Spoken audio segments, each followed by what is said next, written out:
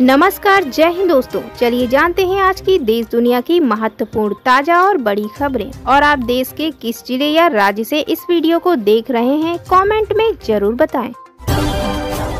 महाराष्ट्र विधानसभा चुनाव नहीं लड़ेंगी नवनीत राणा। भाजपा से मिला राज्यसभा का आश्वासन। जी हाँ, बताते चले अमरावती ज़िले के बडनेरा से निर्दलीय विधायक रवि राणा ने शुक्रवार को कहा कि उनकी पत्नी नवनीत राणा महाराष्ट्र विधानसभा चुनाव नहीं लड़ेंगी क्योंकि भारतीय जनता पार्टी ने उन्हें राज्यसभा की सदस्यता का आश्वासन दिया है। मौजूदा विधानसभा का कार्यकाल 26 नवंबर को खत्म हो रहा है। वहीं महाराष्ट्र में चुनाव को लेकर तैयारियाँ तेज हो गई हैं। लेबनान में तबाही का मंजर। इसराइल को नरसंहारक बताकर इस देश ने संबंध खत्म करने का किया ऐलान। इसराइल लगातार हिजबुल्ला को निशाना बनाकर लेबनान में हमले कर रहा है, जिससे वहाँ कई लोगों की जाने जा रही हैं। इसी बीच गाजा में फिर से किए गए हमले पर निकारागुआ ने नाराज़गी ज़ाहिर की और इसराइल के साथ अपने संबंध तोड़ने का ऐलान किया बताते चले कि निकारागुआ की उपराष्ट्रपति रोसारियो मुरिलो ने इसराइल की नेतन्याहू सरकार को उन्होंने फांसीवादी और नरसंहारक करार दिया। वहीं निकारागुआ के राष्ट्रपति डैनियल ओर्टेगा ने इसराइल के फलस्तीनी क्षेत्रों पर हमलों की कड़ी आलोचना की। गाजा पर इसराइल के लगातार हो रहे हमलों से नाराज़ होकर उन्होंने इसराइल से रिश्ते खत्म करने का आदेश दिया। एनसीपी नेता बाबा सिद्दीकी की गोली मारकर हत्या, अजीत पवार ने दिया बड़ा बयान। जी हाँ, बता दें कि महाराष्ट्र में विधानसभा चुनाव से पहले शनिवार की रात फायरिंग का मामला सामने आया। शहर के बांद्रा इलाके में एनसीपी अजित पवार गुट के नेता बाबा सिद्दीकी पर फायरिंग की गई। इस फायरिंग के बाद बाबा सिद्दीकी को लीलावती अस्पताल में भर्ती कराया गया। हालाँकि थोड़ी ही देर बाद लीलावती अस्पताल ने उनके मौत की खबर की पुष्टि कर दी। बताया जा रहा है कि बाबा सिद्दीकी को उनके बेटे के ऑफ़िस के पास ही गोली मारी गई है। पुलिस ने अभी तक दो बदमाशों को गिरफ़्तार किया, जबकि एक अन्य बदमाश की तलाश की जा रही है। यूपी उपचुनाव में हमको नहीं मिली सीट तो हार जाएँगे, इस सहयोगी के दावे से उड़ी बीजेपी की नींद। उत्तर प्रदेश में 10 सीटों पर होने वाले उपचुनाव की तारीखों के ऐलान से पहले सूबे की सियासत खूब गरमाई हुई है। पूर्व सांसद प्रवीण निषाद के एक बयान ने यूपी का सियासी पारा भी बढ़ा दिया है। उपचुनाव से पहले बीजेपी की मुश्किलें बढ़ती नज़र आ रही है। पूर्व सांसद प्रवीण निषाद ने उपचुनाव से पहले बड़ा बयान दिया है। जब प्रवीण निषाद से सवाल किया गया की चर्चा है की निषाद पार्टी को न बजवा मिलेगी, न कटहरी मिलेगी। इस पर उन्होंने कहा कि निषाद की संख्या बहुत ज़्यादा है कटेहरी और मझुआ विधानसभा में और मझुआ के साथ साथ पूरे प्रदेश में आबादी है। चौबीस पॉइंट पचहत्तर फ़ीसदी निषाद आबादी है। निश्चित तौर पर इससे नाराज़गी होगी और बीजेपी को इसका सामना करना पड़ सकता है। ईरान की खुली धमकी कहा, हमारे खिलाफ इसराइल की मदद मत करो, वरना अगले नंबर पर तुम हो। ईरान ने अमेरिकी सहयोगियों, खासकर तेल समृद्ध देशों को खुली धमकी दी है कि अगर उनके हवाई क्षेत्र का इस्तेमाल तेहरान के खिलाफ किया गया तो इसके गंभीर परिणाम होंगे। दवाल स्ट्रीट जर्नल की एक रिपोर्ट के मुताबिक, धमकियों ने अरब देशों को, जो बिडेन प्रशासन को ये बताने के लिए उकसाया है कि वे ईरान पर किसी भी हमले में सहायता नहीं करेंगे। ईरान की ओर से यह ताज़ा चेतावनी तब आई है जब इसराइल ने ईरान द्वारा बैलिस्टिक मिसाइल मिसाइल दागे जाने के बाद तेहरान को क्रूर बदला लेने की धमकी दी है। मीडिया रिपोर्ट के मुताबिक अरब अधिकारियों ने बताया है कि ईरान ने राजनयिक चैनलों के ज़रिए से जार्डन, यूएई, सऊदी अरब और कतर सहित कई देशों को धमकियाँ दी हैं, जिनमें से सभी में अमेरिकी सैनिक हैं।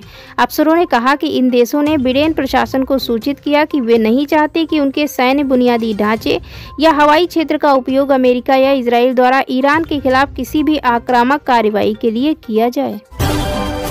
यूपी आंगनबाड़ी भर्ती में उत्तर प्रदेश के पाँच ज़िले और जोड़े गए, तेईस हज़ार से ज़्यादा पदों पर होंगी भर्तियाँ। जी हाँ, बताते चले कि यूपी आंगनबाड़ी भर्ती में हाल ही में यूपी के पाँच और नए जिलों के लिए भर्ती हेतु विज्ञापन जारी किया गया है। इन नए जिलों के ज़रिए विज्ञापन प्रकाशित हुआ है। उनमें हरदोई, कुशीनगर, जालौन, बुलंदशहर, बाराबंकी शामिल हैं। वहीं बता दें कि आंगनबाड़ी में यूपी के लिए तेईस हज़ार सात सौ तिरपन पदों पर भर्ती होनी है। इस भर्ती के लिए केवल महिला अभ्यर्थी ही आवेदन कर सकती हैं। Oh. आरजीकर कांड पर मोहन भागवत के बयान से भड़की टीएमसी कहा मणिपुर उत्तराखंड और यूपी पर क्यों साधी चुप्पी जी हाँ बता दें कि तृणमूल कांग्रेस ने शनिवार यानी 12 अक्टूबर को आरएसएस मोहन भागवत के आरजीकर रेप मर्डर केस पर दिए बयान पर तीखी प्रतिक्रिया दी। उन्होंने उन्हें भारतीय जनता पार्टी की स्पष्ट आवाज़ करार दिया।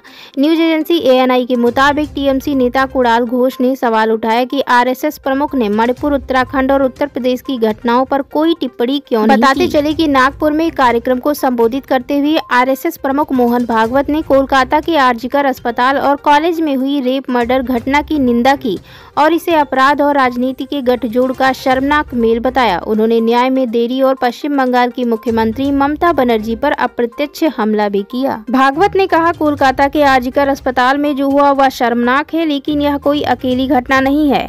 उन्होंने कहा, हमें सतर्क रहना चाहिए कि ऐसी घटनाएँ ना हो, लेकिन इसके बाद भी जिस तरह से चीज़ों में देरी हुई है, अपराधियों को बचाने की कोशिश की गई यह अपराध और राजनीति के गठजोड़ का नतीजा है, या विषाक्त संस्कृति हमें बर्बाद कर रही है। इंडी गठबंधन बदल सकता है, नेता विपक्ष। राहुल गांधी की हो सकती है छुट्टी, बीजेपी का दावा।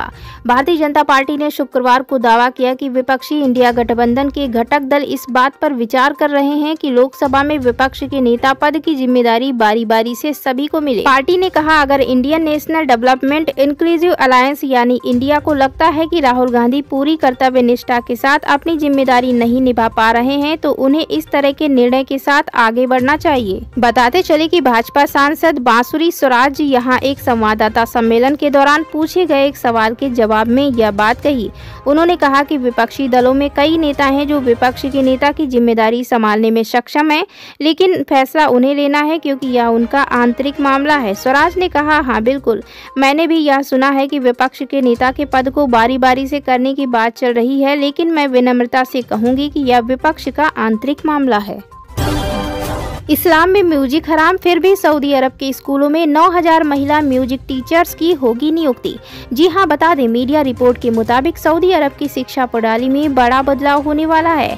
सऊदी एजुकेशन मिनिस्ट्री ने हाल ही में घोषणा की है कि किंडर और प्राइमरी स्कूल के सिलेबस में म्यूज़िक एजुकेशन को शामिल किया जाएगा।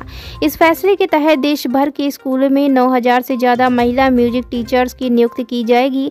हालाँकि इस कदम के बाद सऊदी अरब में व्यापक विरोध हो रहा है। खासकर सोशल मीडिया प्लेटफॉर्म पर। मदरसों को बंद करे फंडिंग, मदरसा बोर्ड भंग करे। एनसीपीसीआर चेयरमैन ने लिखा, सभी राज्य के सचिवों को पत्र कहा, यहाँ नहीं मिलती बच्चों को उच्च गुणवत्ता वाली शिक्षा। बता दें कि प्रियांक कानूनगो ने सिफारिश की है कि प्रदेश सरकारों द्वारा मदरसों को दिए जाने वाले फंड रोक लगे। मदरसा बोर्डो को भी जल्द बंद किया जाए।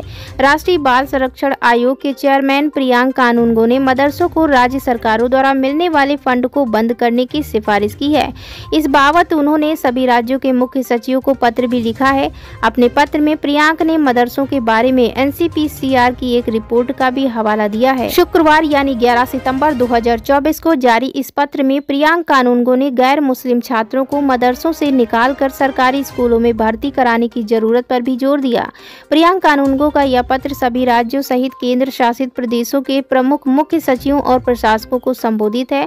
उन्होंने पत्र की शुरुआत में ही एनसीपीसीआर की एक रिपोर्ट का हवाला दिया है, जिसका नाम आस्था के संरक्षक या अधिकारों के उत्पीड़क, बच्चों के संवैधानिक अधिकार बनाम मदरसे है। उन्होंने दावा किया है कि बच्चों के मौलिक अधिकार और अल्पसंख्यक समुदाय के हक के बीच एक विरोधाभास जैसा दिख रहा है।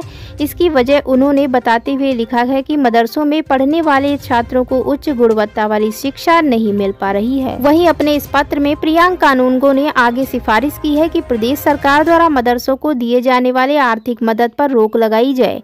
इसी के साथ राज्य में चल रहे मदरसा बोर्डों को भी बंद किया जाए। इन सिफारिशों के साथ मदरसों में पढ़ने वाले सभी गैर मुस्लिम छात्रों को चिन्हित करते हुए सरकारी स्कूलों में भर्ती करवाने के लिए भी कहा गया है। प्रियांक कानूनगो के मुताबिक ऐसा रोड मैप बनाया जाए जो देश के सभी बच्चों के भविष्य के लिए अनुकूल माहौल बनाए। अजय जडेजा आप कहलाएँगे जाम साहब, जामनगर राजघराने के बनाए गए वारिस।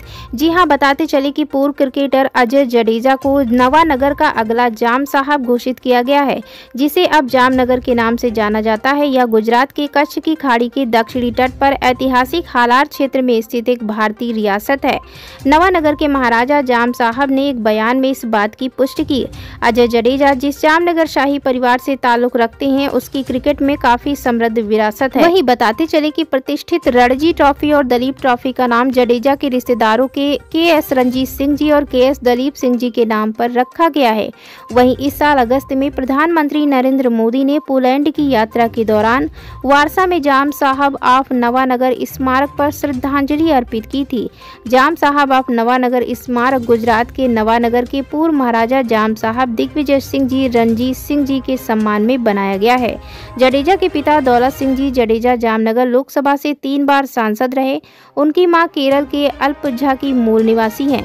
जडेजा का विवाह जया जेटली की बेटी अदिति जेटली से हुआ है और उनके दो बच्चे एमन और अमीरा हैं।